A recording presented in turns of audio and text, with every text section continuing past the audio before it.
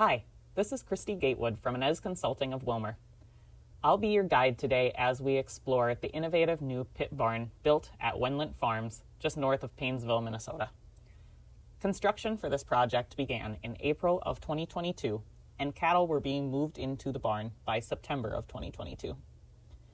This barn features the Lely Vector feed system, Dairy Power Smart Slurry Aeration System, Arrowquip hydraulic chutes, the point system from Scale Tech, and this farm uses Performance Beef Tracking System to keep an inventory of all the cattle going through this site. We interviewed Jake Moline and Kirk Larson from Leedstone, Mike Hanson from Hanson Silo, and Mike Wendlandt from Wendlandt Farms to explore the innovative new technologies put into this barn. Mike Hanson, Hanson Silo. We worked with the Wendlandt family on the new cattle barn that we see here. It's uh, 106 wide by 204 long with the center drive over. And we did the, the slats, the beams, the center drive over, the rubber mats, and the bubbler we'll move on to our uh, manure aeration system, commonly referred to as the bubbler.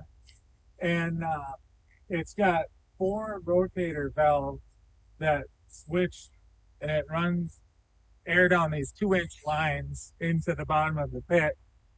And then it bubbles up through these duckbills and a vacuum pump in this building that we'll see next. So the air bubbles cause thorough mixing of the solids and giving the pit consistency and the aerobic bacteria digest toxins and ammonia, which in turn increases nitrogen. On the rubber mats that are fastened down to our precast concrete slats, have you noticed uh, pretty good performance there on the traction. Yeah, they're very sure-footed inside the barn. Um, on the slide itself, it does a very good job. The manure, the manure goes through it. Um, the ice does build up on some cold days, but it doesn't take much of a warm day at all, and the ice is all. So, I mean, a cattle appearance, cattle health, I think everything has been really good. Good with the slats. And this is a, it's a DRI double button premium rubber product that we sell, and uh, we've had we've had good luck with it at other customers too. But you know, it's not the lowest priced one out there, but it's definitely uh, it's a quality woven. There's actually cords in there similar to a tire, so the longevity is going to be better. Right, that's what we were looking for was longevity and most of the cattle health, cattle, all that. So yep. That's what we were looking for. The comfort. Cattle comfort. And uh, obviously the weather today is a typical March day, but we're I'm not hearing a lot of coughing and the air quality is really nice and right. That was one of our one of our biggest concerns with our vet with the active it with active bubbler was that solid that slow release of methane over time, you know, that hasn't been an issue at all. Because of, uh, instead of having a crust that can crack on its own and then you get a right. direct shot of gas. You get a built up that wall at one time where we haven't even noticed any of the air quality. Yeah, more of a fluid state. Right. What we tour? Five different sites? Yep, five different sites with different rubber, um, different ways of feeding everything. And, uh, no two are really the same. So no. it's kind of up to the farmer to right. figure out what he, what your goals are, what your budget is, and then putting it together, making it all happen. Yeah, and that's especially with this barn with the Lely robot, the bubbler, the technology. It's kind of the first of its kind built and put together as one. So it was just a a big thing to come together and Hans did a good job with you know, working with everyone else on the construction of the building. Not necessarily or lowest cost per head. Obviously, an outdoor lot is going to be that. But you have how many animals with one main person? Right? Yes, we How many animals are you taking care of? we increased 700 head on the farm with limited extra labor. Um, so that was probably the biggest thing on this entire barn was labor and animal health and all that. So one quarter, that's one of the biggest things that we might be working on. Animal health and comfort. So yeah, for us to make this expansion, we would have had to buy a new TMR, a bigger, to have this many more cattle on, on hand. Um, we would have needed a new a new tractor, and everything. Um, so by using technology at our you know at our power, we were able to accomplish all of that.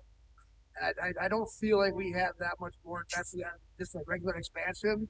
Um, and by utilizing this and saving on the labor and all that, um, it helped us focus on cattle, family, things of that nature. As far as expansion goes, how many cattle did you have before and how many are you up to now?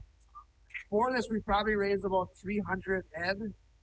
Um, we're majority of it we were crop farmers, um, and we went into this, and we now we are a cattle first farmer, uh, and now we're probably closer to the 1100 mark on various sites.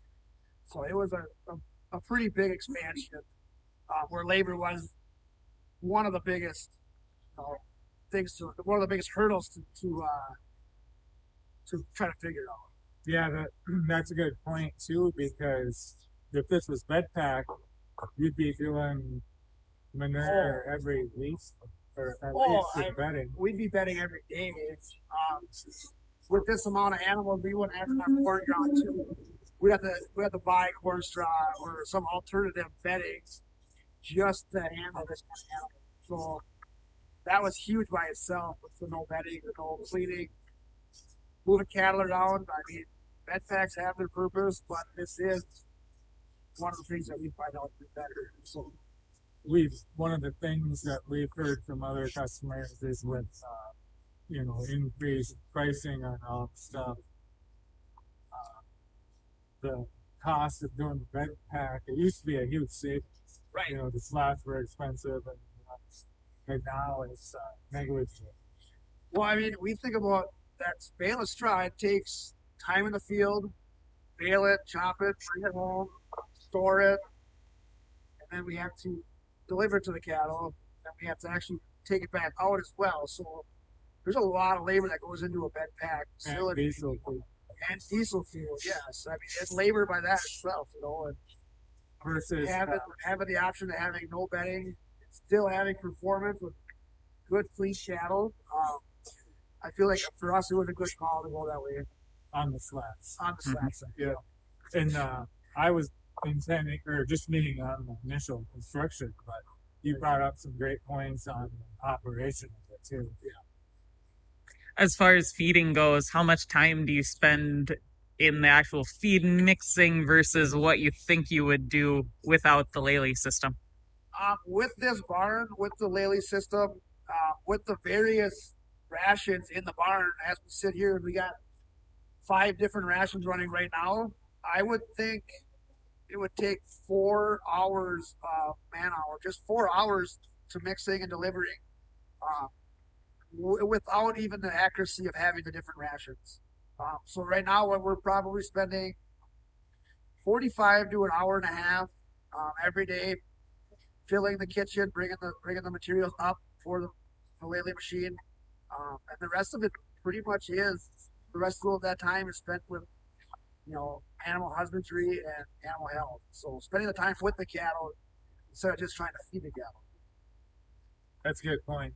And I think the max that I've heard is about, you know, there's technology available to have up to like three days of storage in the live bottom bins that would supply a robot too. Right. Yeah, I mean we've had a couple snowstorms this winter where we did pack it in and we had uh, 48 hours to three days of feed in this building where we didn't have to run the skid loader outside, and that just allows us to do other things with the snowstorm. Actually, makes you want to have to do something else.